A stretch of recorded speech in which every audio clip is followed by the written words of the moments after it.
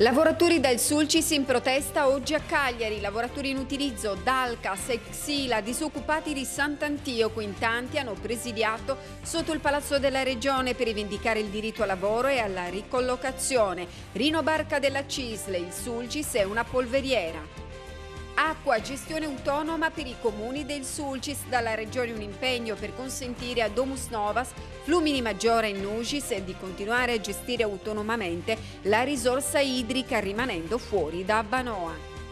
Azzeramento IRAP, la Giunta approva i criteri per le nuove aziende. L'assessore al bilancio Raffaele Pacci, corriamo per rilanciare l'economia della Sardegna e attrarre gli investimenti.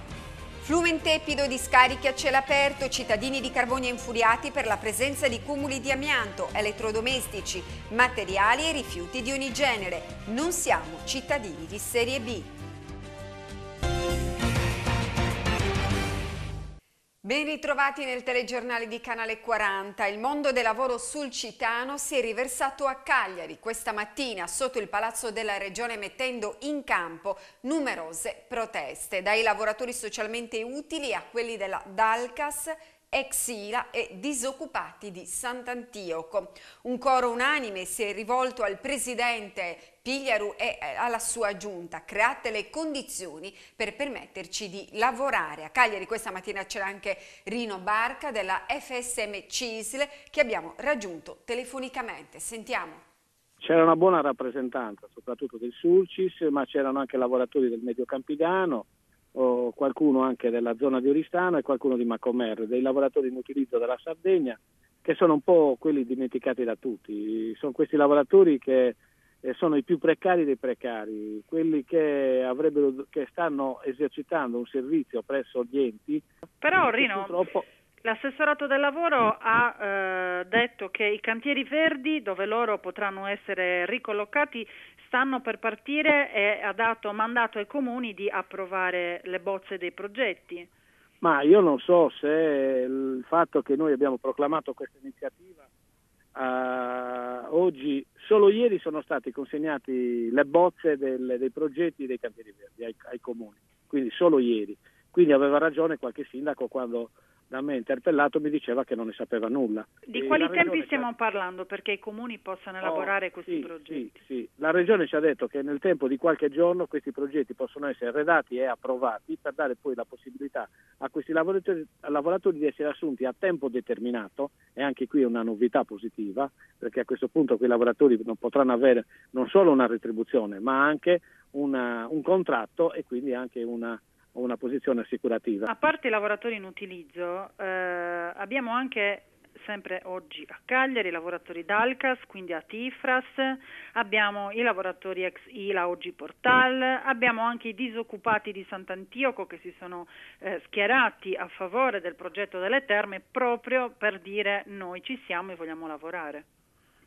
Mm, mi sembrano tutte giuste rivendicazioni eh, io dico che ne mancano anche altri di lavoratori a presenziare a quella, a quella mancano i lavoratori dell'Alcoa, mancano i lavoratori degli appalti della Lumina, cioè il Sulci sta diventando una polveriera. Il sindacato sta procedendo in modo compatto per risolvere questi problemi, per mandare avanti le manifestazioni del caso? Ma mm, vediamo nei prossimi giorni di vedere di trovare una quadra unitaria a, sull'affrontare i, pro- i, problemi. Per quanto riguarda le vertenze con i metalmeccanici, io che seguo quella categoria posso dire che per quanto riguarda la ILA, per quanto riguarda l'ALCOA, per quanto riguarda tutte le altre vertenze, eh, abbiamo una certa compattezza anche perché sono i lavoratori che ci mettono assieme, sono i problemi che ci mettono assieme.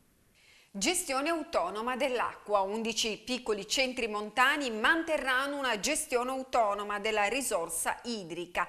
Per i comuni del Sulcis, Domus Novas, Nugis e Flumini Maggiore, un provvedimento legislativo dovrebbe andare incontro alle esigenze degli amministratori, come riferisce il sindaco di Domus Novas, Angelo Deida, facendo riferimento a quanto detto ieri dall'assessore Manincheda nel corso dell'incontro. Sentiamo. Ieri c'è stata un'importante riunione a Cagliari per quanto riguarda Abanoa. È stato avviato un tavolo e mm, sarà, è stata decisa l'autonomia per 11 piccoli centri montani, ma per i comuni del Sulcis, Domus Novas, Flumini Maggiore e Nugis, che cosa si prospetta? Intanto non è stata una riunione per Abanoa, è stata una, una riunione per cercare di trovare la soluzione per la gestione, eh, la gestione del sistema idrico integrato locale. E devo dire che ho trovato una persona molto determinata, l'assessore Manichedda, che ci ha ben accolto e soprattutto ha dimostrato di avere le idee chiare su come impostare questa problematica e ha uh, dei 25 comuni li ha classificati in tre fasce. I primi, hai fatto bene tu a dire, gli 11 sono quelli che rientrano nella legge nazionale, quindi possono gestire sé all'interno dell'atto le proprie eh, risorse e che quindi li accompagnerà affinché venga fatto questo risultato. Seconda fascia sono quei comuni che comprano l'acqua da, uh, che gestiscono attualmente il sistema idrogeografico, però comprano l'acqua da Vanoa. E quindi, siccome che se il gestore unico è Abanoa, ecco, lui dovrebbe chiedere a Abanoa, ecco, rinunciate voi, perché la legge invece dice che è Abanoa che deve gestire, rinunciate voi, ecco, perché vogliono continuare a gestire quello. Terza fascia, che saremo noi, quelli che da dieci anni stanno facendo le battaglie per arrivare a una soluzione, e ha detto per voi non ho niente da dire, avete l'acqua, ve la gestite bene, non chiedete una lira una lira alla regione e quindi questo può essere un motivo in cui eh, la politica dovrebbe risolvere la politica, perché siete anche dentro l'ambito territoriale, riconoscete l'ambito, quindi voi alla politica risolvere la soluzione. Ecco, voi avete già presentato un disegno di legge in Consiglio regionale, ecco, noi dobbiamo far sì che la politica faccia una convenzione con voi e dica a Banoa lascia perdere questi qua, a questi comuni gli diamo pur riconoscendo il gestore unico, riconoscendo vuol dire che deve gestire il servizio, è tanto per non smontarlo, capito? E vi dico tranquillamente, vi diciamo tranquillamente che questo è un percorso che si può fare.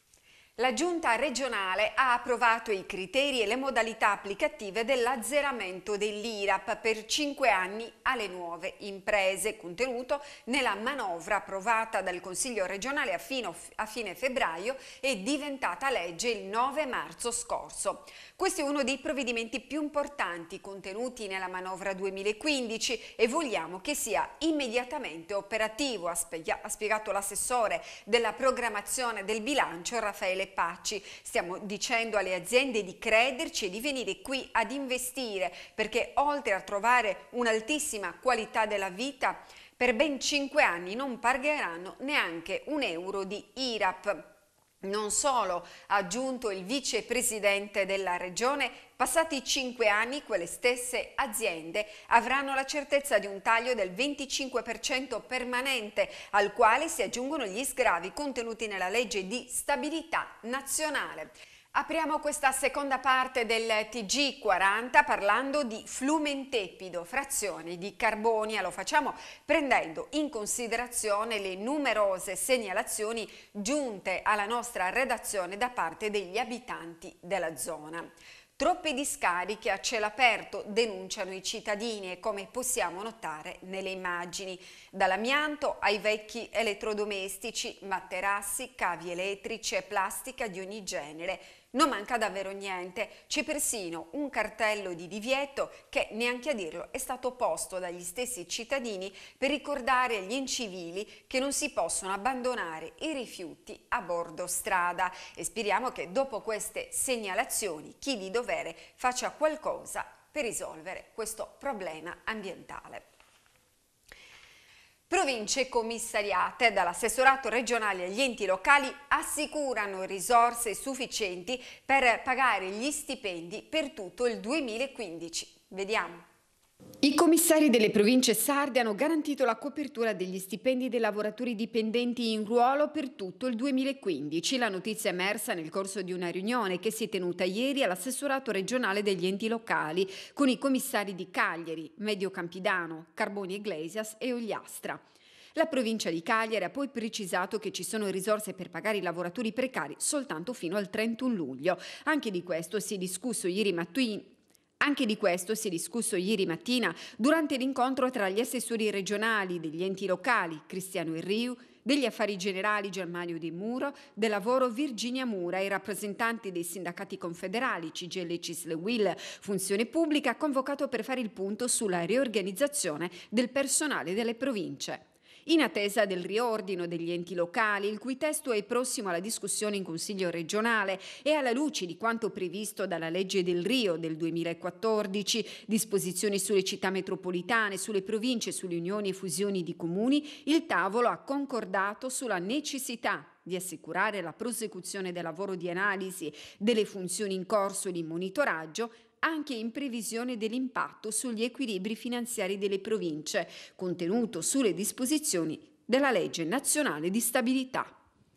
Iglesias è tra i 16 comuni selezionati dal Comieco e dalla Regione Sardegna che hanno aderito al club dei comuni ecocampioni di carta e cartone. L'invito è stato formalizzato dall'assessore Donatella Spano e dal responsabile area riciclo e recupero del eh, Comieco Roberto Di Molfetta i rappresentanti dei comuni sardi che si sono distinti per un'efficace gestione della raccolta della carta e del cartone. L'adesione comporta l'attivazione di un percorso comune finalizzato ad un ulteriore miglioramento delle performance di raccolta grazie al supporto garantito da Comieco e dalla Regione Sardegna. L'obiettivo del progetto è di diffondere le buone pratiche della raccolta differenziata promuovendo l'esperienza dei comuni che vantano risultati di eccellenza. Con il cammino minerario di Santa Barbara un pezzo di Sardegna è su Veribello, il sito ufficiale del Ministero dei Beni Culturali e del turismo per Expo 2015, grazie alla rete nazionale dei camini, a cui aderisce l'associazione Onlus Pozzo Sella per il parco geominerario il cammino minerario di Santa Barbara è stato inserito sul sito ufficiale del Ministero, che in poco tempo ha fatto registrare quasi 3 milioni di contatti. Si tratta di un importante risultato in vista della presentazione ufficiale del cammino, fa sapere l'associazione Pozzosella che potrà essere effettuata in più occasioni agli operatori intenzionati nell'ambito dell'Expo 2015 grazie all'impegno che proprio in questi giorni stanno dedicando i comuni interessati e la Regione per dare attuazione al protocollo di intesa per la costruzione e la gestione del cammino minerario di Santa Barbara. L'associazione Centro Down Onlus ha organizzato per sabato 28 marzo alle 15.30 un incontro con le famiglie intitolato Famiglie, opportunità e scelte, ruolo e contributo positivo nella vita delle persone down. All'incontro che si terrà nella sala Giovanni Paolo II, secondo della parrocchia Beata Vergine Addolorata di via Liguria a Carbonia, interverranno i vertici del centro down, pedagogisti e persone con sindrome di Down insieme ai familiari. Al termine degli interventi si aprirà un dibattito.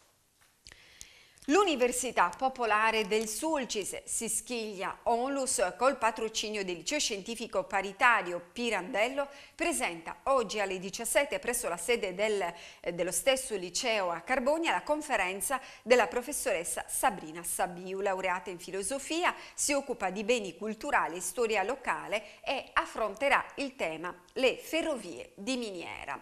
E con questa notizia termina il nostro telegiornale, adesso le previsioni del tempo e poi il TG in lingua sarda, Noas in corso. Vi ringrazio per aver seguito il TG di Canale 40.